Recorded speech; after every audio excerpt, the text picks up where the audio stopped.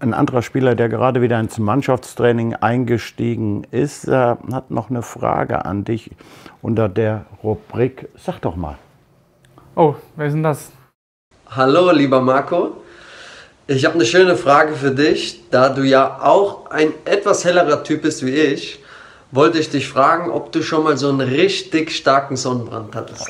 Liebe Grüße. Scheiße. Ja, muss ich mit Ja beantworten.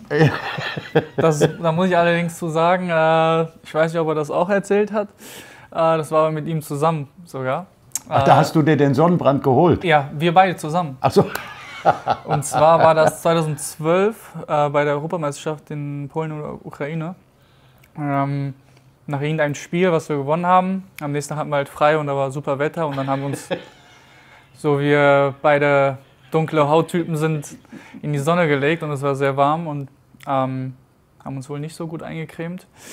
Soll ich mal das Bild zeigen?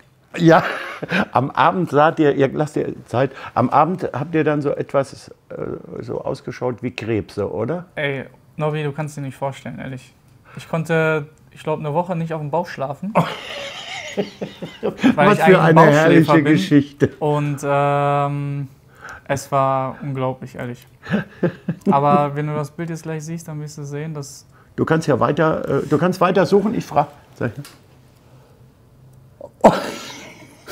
Aber bei mir ist noch. Guck mal, bei mir. Dürfen wir das kurz in die Kamera halten? Ja.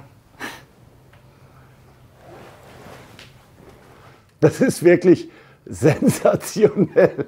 Da kann ich mir vorstellen, dass du lange Zeit nicht auf dem Bauch schlafen konntest, wenn du Bauchschläfer. Da geht ja gar nichts. Ne? ja.